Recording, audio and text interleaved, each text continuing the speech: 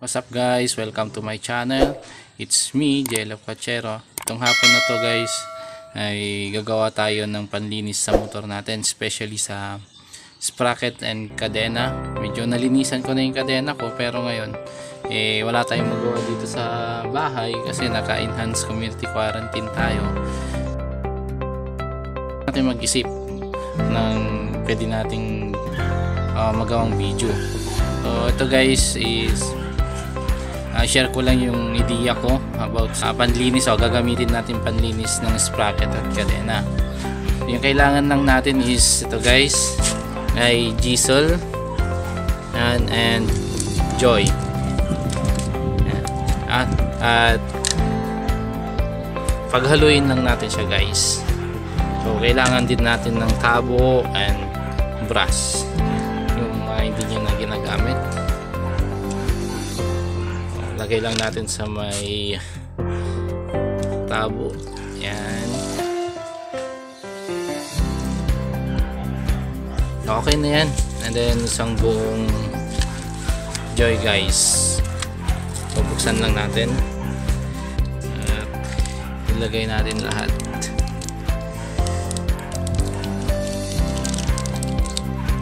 So yun lang kadali guys gumawa ng panlinis ng kadena. At ngayon ay gagawin natin ay paghaluin natin.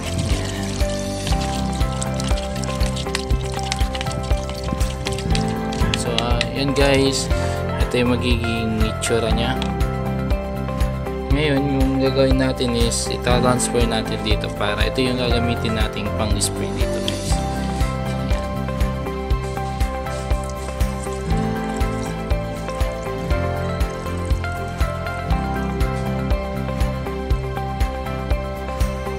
siya kasya guys eh, hayaan nyo na lang i-refill nyo na lang mamaya. So pero mas maganda kung ito talaga yung gagamitin natin pang spray. So diesel lang and joy washing liquid yung kailangan natin. So try na natin guys kung effective nga ba o hindi. So yan spray muna natin. At ng parts para malinisan natin mamaya spray natin natin sa kabila.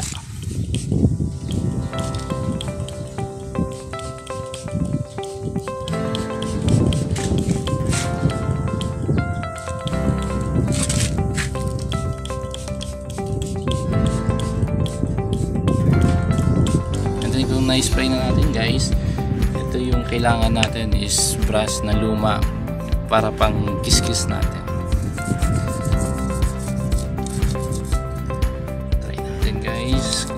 effective. Makikita natin yung resulta guys may pagkatapos natin. Ah, makikita naman natin.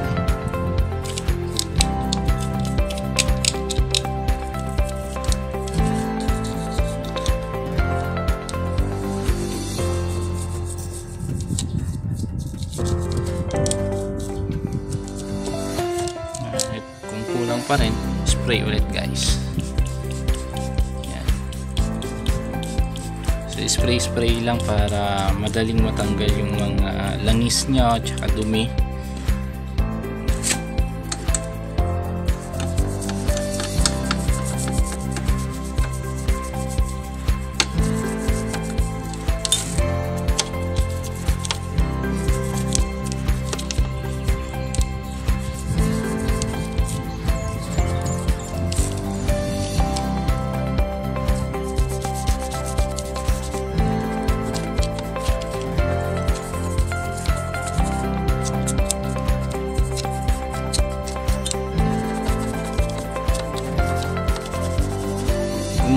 Tools kayo guys na pangtanggal dito, mas maganda ng tanggalin nyo para malinisan nyo ng maayos. Dahil wala akong tools, eh, hindi ko na siya tinanggal. Pero mas better kung tatanggalin nyo para mas malinisan nyo siya ng maayos. Kasi kapag nakakabit lang, hindi nyo malilinisan yung sa may likod niya. Kaya mas better kung, kung may pangtanggal kayo, tanggalin na lang.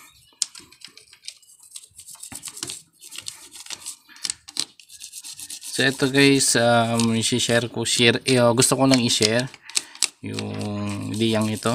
Aka, sakali makatulong at sa mga nakagawa na, uh, maraming salamat. At sa mga hindi pa, i-try nyo din para malaman nyo maganda nga ba. Pero itong video na to, uh, malalaman na natin kung effective nga ba o hindi.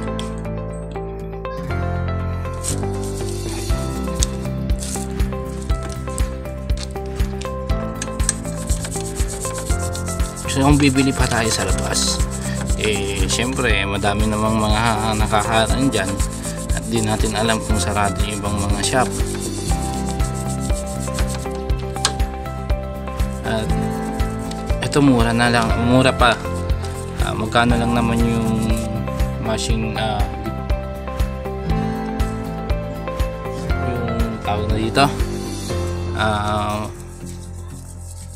washing liquid tsaka yung diesel. Eh, yung 30 pesos na diesel madami na yon at yung 6 pesos na pan is sobra sobra pa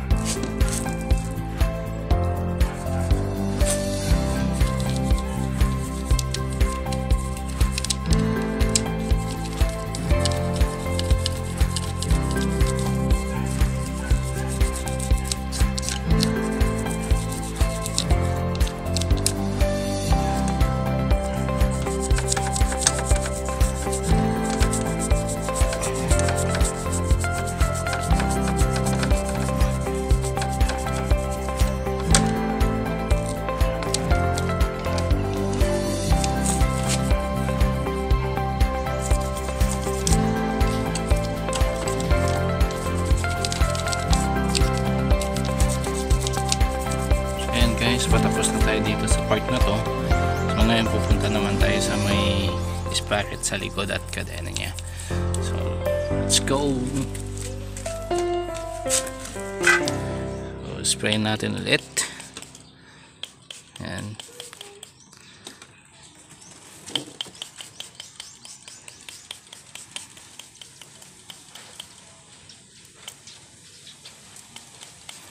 and then brushing natin ulit guys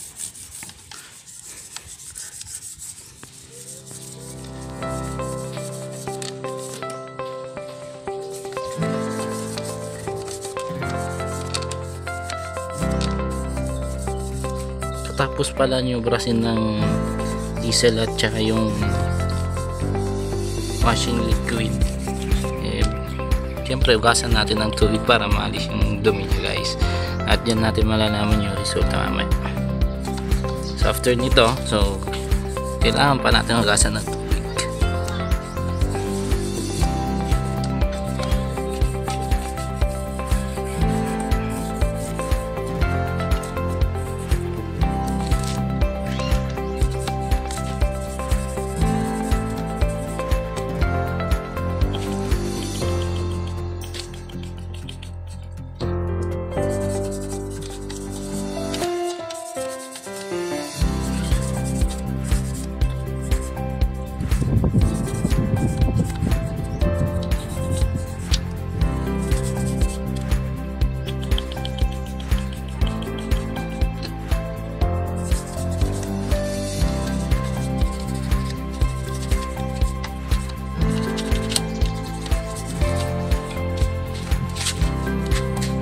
guys sa may coat syempre kailangan naman na natin kasama to. Para maninisan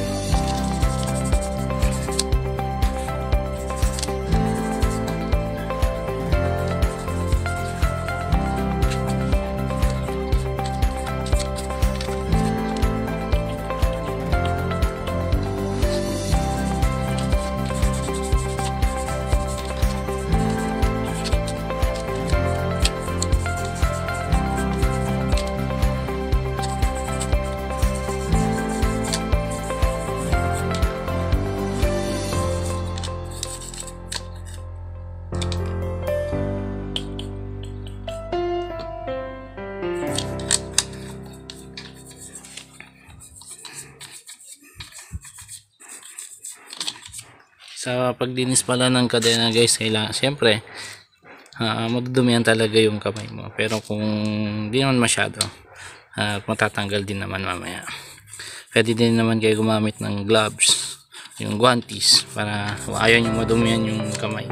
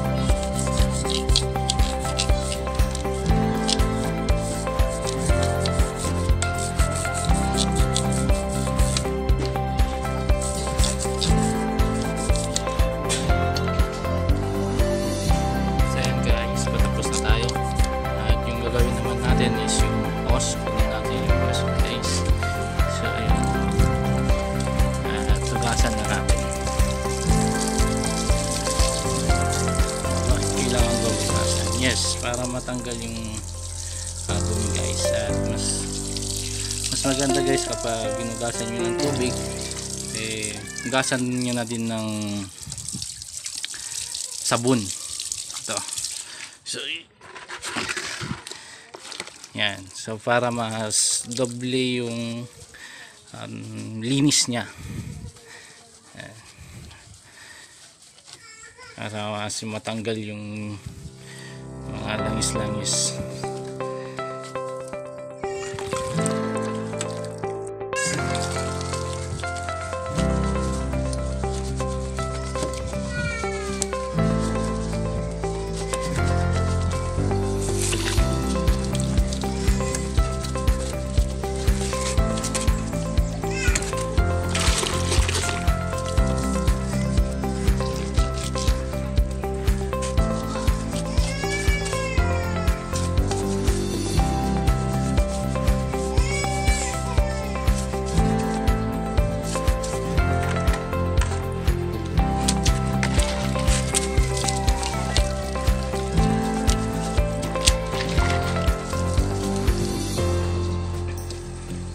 So ano ba mangyayari guys kapag ginugasan lang natin ng tubig at hindi natin magasan ng sabon?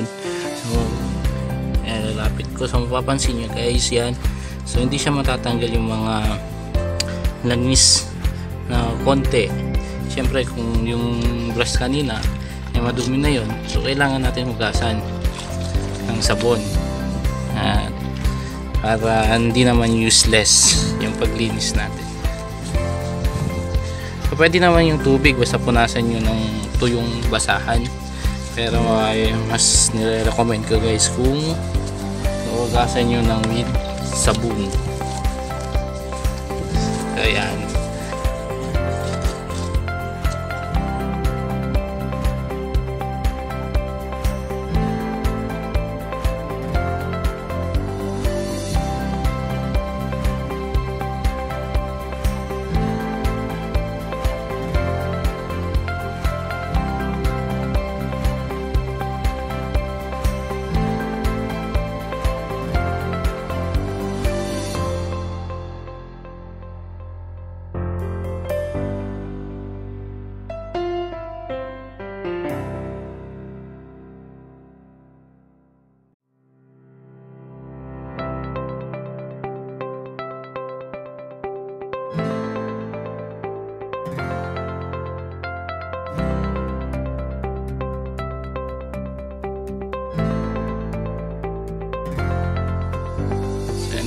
Patapos na tayo. At pagkatapos yung sabunin guys syempre kailangan yung balnawan ng tubig. At tignan natin mamaya yung resulta nya kung effective nga ba o hindi.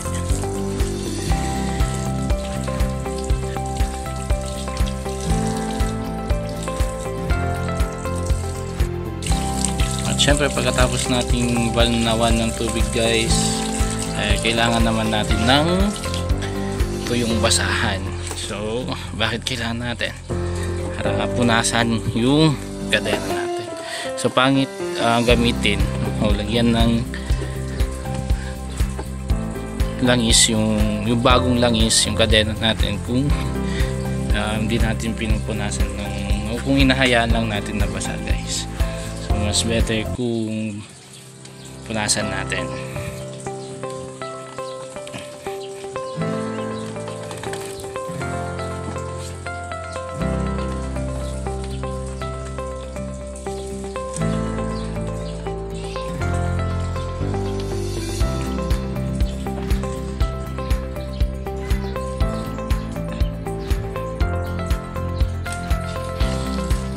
guys, tapos na tayo. Uh, tignan natin yung resulta.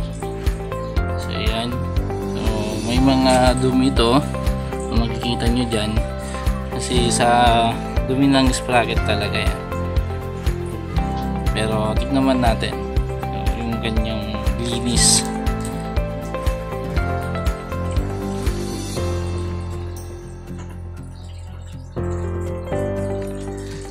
Video na to guys, sana nakatulong sa inyo. Uh, nakapagbigay ako ng konting kaalaman sa inyo. Pagkatapos natin linisan, eh, syempre applyan natin ng oil. Yung langis dito sa para sa kadena. Depende sa inyo guys kung ano yung gusto nyong mga uh, kung ano yung ginagamit yung langis. Pero sa akin kasi yung ginagamit ko ay yung singer para sa yung mga mananahe. Ginagamit nila sa makina nila. So yun yung ginagamit at okay naman. Pero yun nga gaya ng sinabi ko sa inyo depende sa inyo kung ano yung ginagamit nyo dun sa um, kadena nyo. So salamat guys sa patuloy na pag-support ng aking channel. Sana mapanood nyo to hanggang uh, matapos nyo itong video na to. So ingat lang at stay lang tayo sa bahay. Wala mo ng rides kasi naka-enhance community quarantine tayo guys. Ride safe. Peace out